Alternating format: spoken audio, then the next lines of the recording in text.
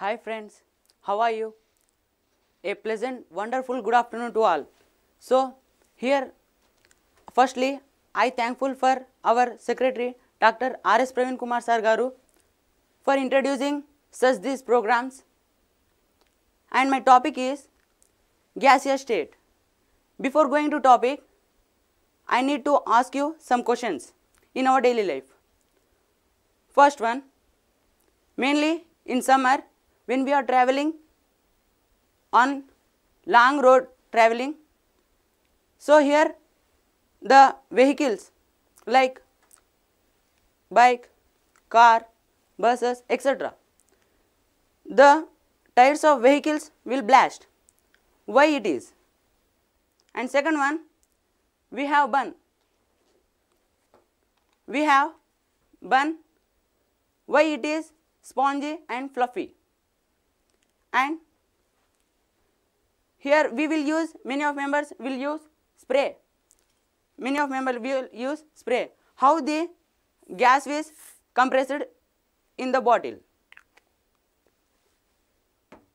And my questions are here when we traveling in air the hot air balloons how they are flying these all questions you will be answered by watching till my end of my ppt so let's go to topic before. Here i want to ask you one question. Here what is this? Yeah this is a book which has mass. And when i am placing here it occupies some space. It occupying some space. So a substance which has mass and occupies space is known as matter. Yeah it is known as matter. So here example of matters. Example stone and book and pen, table, etc. These are the examples of matter. And class classification of matter on the basis of physical states at room temperature. Matter has classified into three states. First one is solid, liquid and gas. What are that? Solid, liquid and gas. Okay. Here to in general our molecules have two types of tendency. First one is here first one is mutual attraction tendency and second one is escaping tendency. Here if mutual attraction tendency is high then escaping tendency then it is considered as solid and if mutual attraction tendency is equals to escaping tendency then it is classified as the matter is classified as liquid.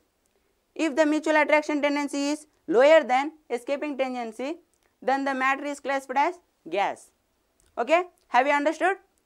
If mutual attraction tendency is high, then escaping tendency, it is classified as solid. If mutual attraction tendency is equals to escaping tendency, then it is classified as liquid. If mutual attraction tendency is lower than escaping tendency, it is classified as gas we will discuss the differences between solid, liquid and gases. Okay. So, here for explaining that I am by experiment I will explain you. Here I took I took a syringe which is filled with chalk powder. Here I filled chalk powder in syringe of 20 ml. When I am applying an external pressure to the piston okay here i am applying external pressure to the piston yeah it is not changing its state yes or no it is not changing its state by this we can say that if we in this syringe it is a solid no so when we are applying an external force it is not changing because here in this solid have the intermolecular forces is high. Take an another example stone. Here I am applying pressure. It is not changing its state. Yes or no? So, it has intermolecular forces is high and the intermolecular distance is short. For that it is not moving. If you see the figure 1, in figure 1 the intermolecular forces have bonded tightly. For that it is not unable, it is unable to change its state. And next going to gases,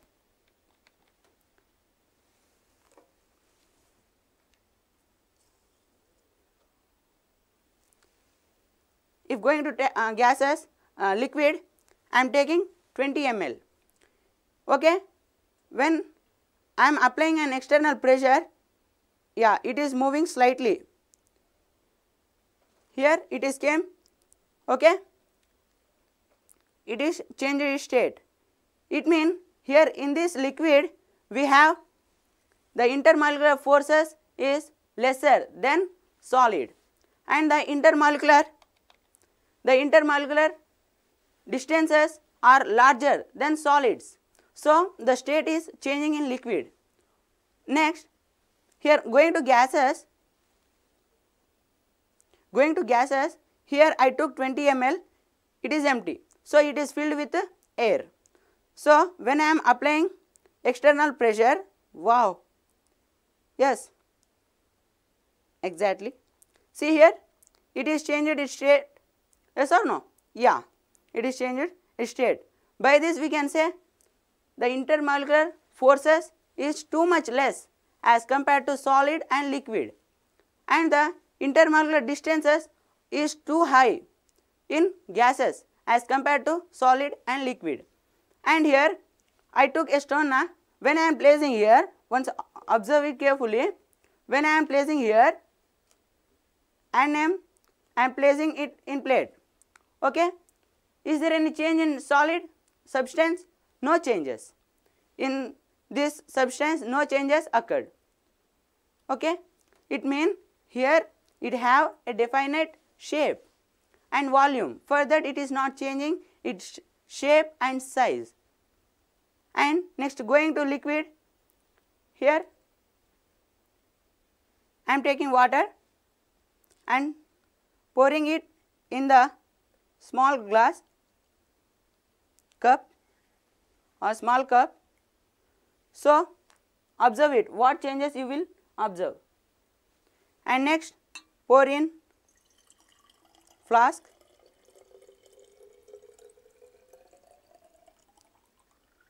Okay? Here before I am pouring the shape of water is yeah glass uh, beaker shape. And if I take the glass when I am pouring it inside the glass so here it uh, occurred in glass shape. And the shape of water in flask is flask shape. By these three by observing this all we can say that the liquid will occupy a container shape. Okay? Have you understood? Here it occupied a container shape. But the volume of water is same. Again it is same in beaker. Yes or no? Here by this activity we can say that liquid have a definite volume but it didn't have a definite shape. The shape is container shape. I am going to liquid. Here we know uh, here i will say you here we have air but it is invisible. So, it did not have any shape and volume. Next, when I am applying an external pressure force on this, it not changing its state, yes or no. So, we can say that it is a rigid body. Rigid means by applying an external force, it won't changes its state and size and shape. Okay. Friends, here liquid. Here liquid we have. Here the state of liquid. Shape here see? Yeah. Okay? It is changing its shape when I am putting an finger. So, by this we can say it is not a rigid, By applying pressure, it is changing its size and shape. Going to gases, here when I am applying force, it is changing its shape and size. So, it is not a rigid body. And the examples of solid are in our daily life we know stone and we are writing pen, using book etc. And for liquids, for liquids it is a water and gasoline, petrol etc. Next going to gases, the examples of gases N2, H2, air etc. So, by this next measurable properties of gases. I will explain you with example. Okay. Here I took 20 ml, it is a empty. Okay. Are you able to see? Yeah. You are here it has 20 ml, it is empty means filled with air. Okay. Here when I am applying, when I am pressure applying pressure to piston, then the gas is compressing. Yes or no? You are able to see this. When I am uh, applying pressure to piston, then it is compressing. By this we can say the gases have compressibility nature. If I leave it, okay, I remove the pressure, wow, the gas is expanding. By this I can say the gas have expansibility nature. Okay. When I am applying an pressure to this gas, okay, here the molecules will collide each other and walls of the syringe and here colliding with uh, my finger. Here colliding with my finger. I am here observing, I am feeling pressure on my finger. Yeah, I am, yes. By this I can say that gases exert pressure. Okay. And next, if here if we take gas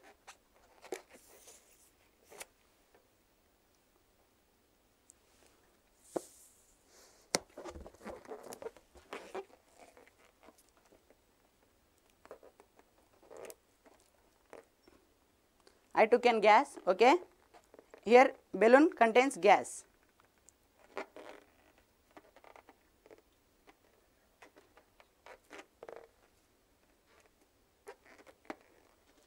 So, ah, listen, here it is a gas. Once catch it, I am leaving it, okay. Wow, it's moving now. Yes, it's moving and if I throw a stone, it will fall down. It won't move because it has more mass okay? and it has less mass.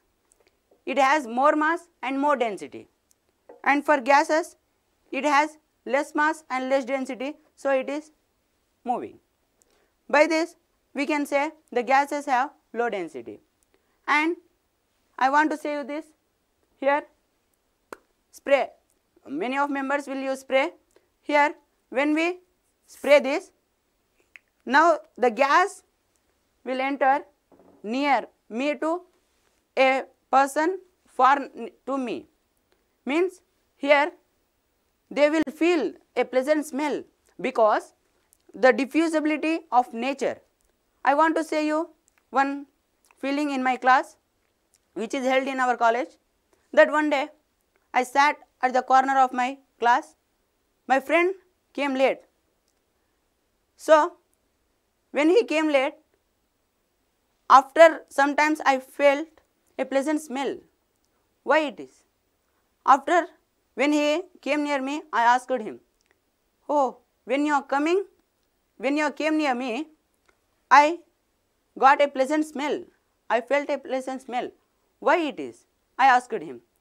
I asked him, ए भाई क्या चल रहा है he said me a fog चल रहा है here means here he just said me that and I know that here diffusion, the diffusibility of gas traveled from near me to a person other when I did an experiment. When he entered, it came near me. By this we can say the gas have diffusibility nature. Okay, when I did this experiment, okay, the balloon moved randomly. Yeah, it is moved randomly because it has high kinetic energy. Instead, here in case of solid, it won't move because it didn't it has less kinetic energy. In gases, it has more kinetic energy. Okay friends, have you under, understood what are the measurable properties of gases? Next, for to explain these measurable properties, some gas laws were proposed. So, now I am entering to the topic, gaseous law. Okay, gaseous law. Now, in this gaseous law, first one is Boyle's law. Boyle's law states that at constant temperature and number of moles, the pressure of given mass of gas is inversely proportional to the volume of gas.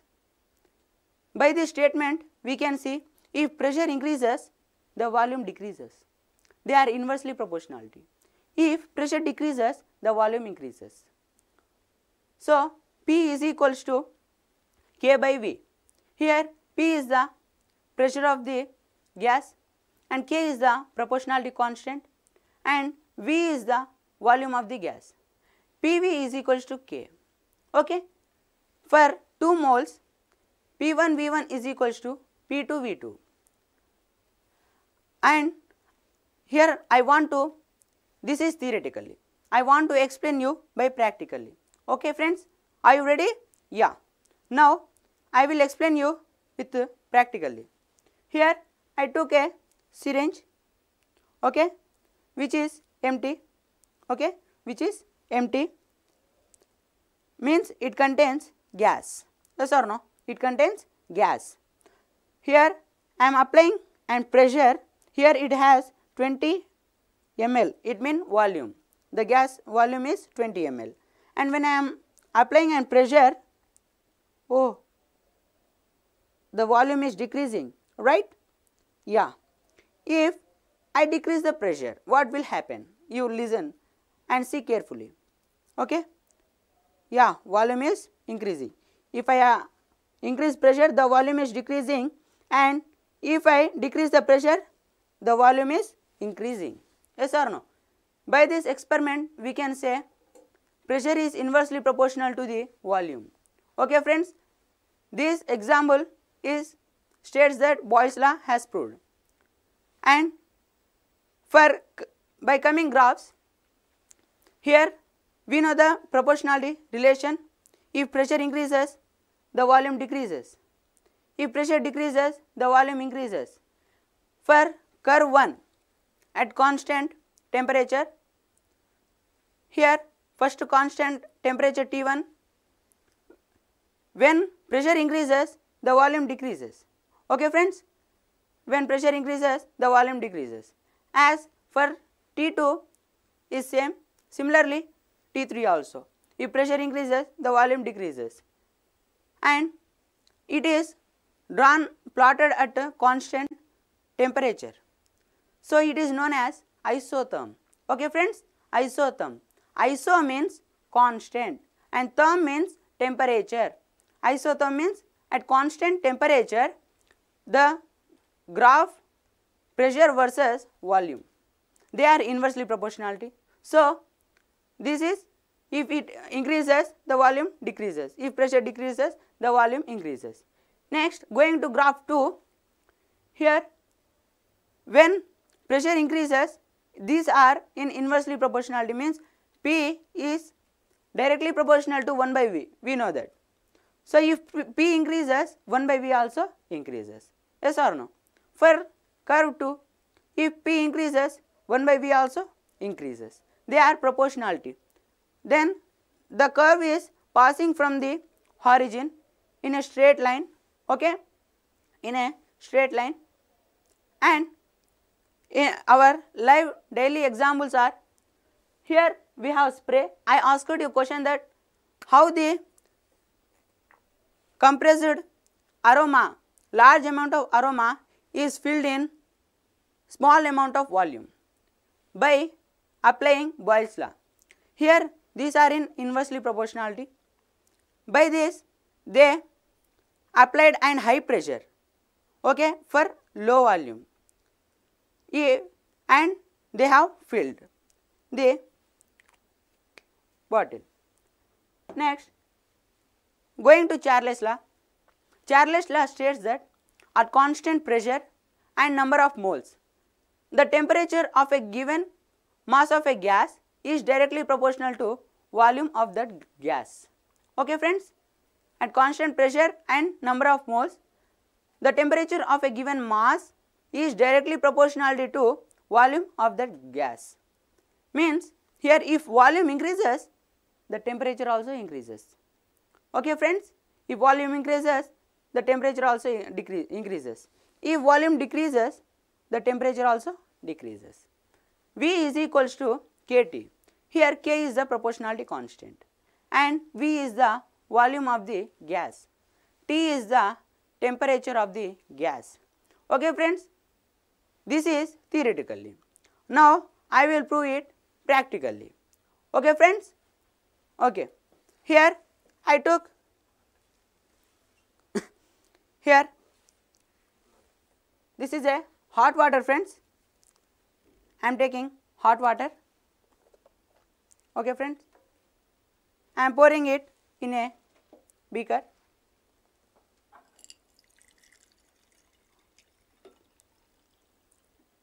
Okay friends, I am poured a hot water. I am taking a bottle and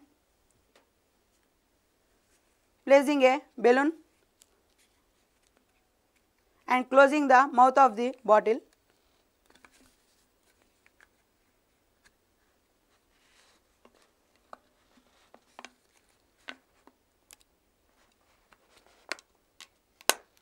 Okay friends, I closed the balloon by and when I am placing in hot water, wow, see here what happened? The balloon volume increased, yes or no? The balloon volume increased. By this we can say that, have you understood? If the temperature increases, the volume also increases of the gas. Here when I increase the temperature of the balloon, then the volume also increases of the balloon. Next, second activity that here first I am pouring a colored water. Okay friends, I am pouring a colored water in the plate.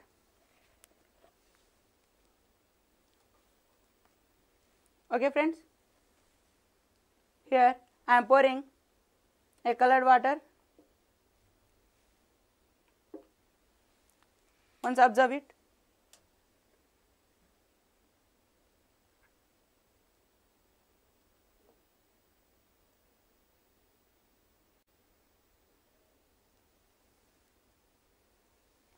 Okay, colored water. Here it is a colored water. I am placing a candle. I am lighting a matchstick. Okay, I am lighting a candle.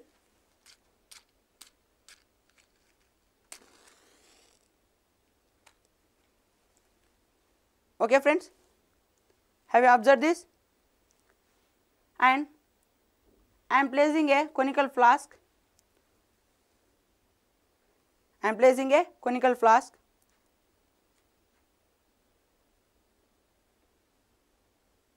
what changes you will observe? Observe it friends. Wow, a colored water is raising up. Why it is? Why it is? Because friends, here when I lightened here a candle and placed a flask in that area, the temperature is increasing by the candle. and here the gas will be heated and it tries to expand it tries to expand. But this place is insufficient. For that it escapes from the mouth of the conical flask. Then here we can say by this when it is here the temperature is low okay? The temperature uh, pressure is decreased and our atmospheric pressure is constant. This constant pressure applies an external force and the liquid rises up. It means here temperature increased and the gas also increased. Volume of the gas also increased so they have proportionality constant. This proves Charles law. And our examples of Charles law are here I asked you why the bread is in is spongy and fluffy. Because they will use yeast. Okay friends? Yeast. And it gives releases carbon dioxide. And the it releases carbon dioxide na? Then here when it releases carbon dioxide then the amount will be decreases reduced. Then it will be like sponge. Okay friends? And I asked you question. When we are traveling long journey in summer. Because here the temperature in summer is high. When temperature increases the volume of tire is also increase. But the gap the space is insufficient. So it will expand and blast this is the reason. Okay friends? These are the examples. And next going to graphs. Here we know that proportionality constant they have proportionality relation at constant pressure. So it is known as isobar. Okay friends? If pressure if volume increases temperature also increases. Next friends? Going to avogadro's law it states that at constant temperature and pressure equal number of gases contains equal number of moles. So friends v is equals to kn. V is directly proportional to n. V is the volume of the gas and n is the number of moles of the gas. Here friends we will prove this. If I take a large amount of gas and small here I took it is large amount of volume and it contains large amount of gas.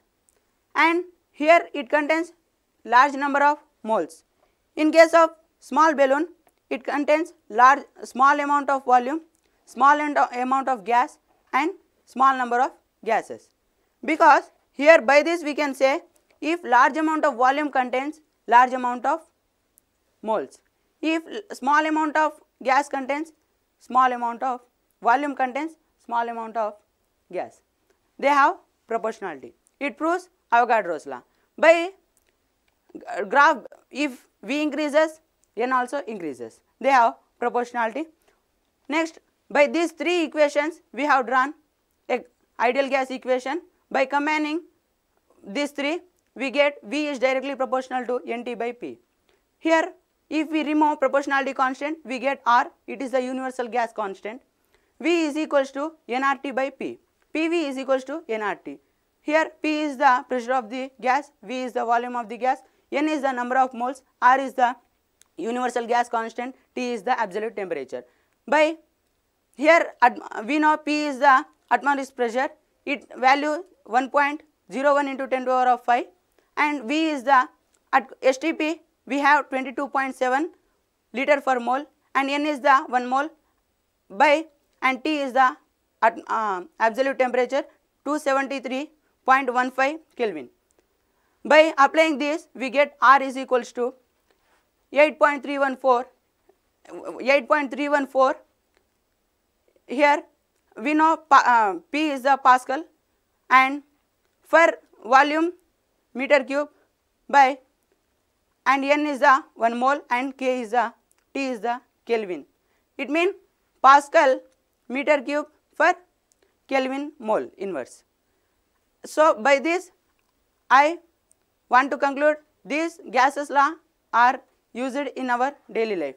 So, by this I, I am thankful for our Dr. R. S. Kumar Garu and our principal sir and our lecturer for giving and supporting for this program.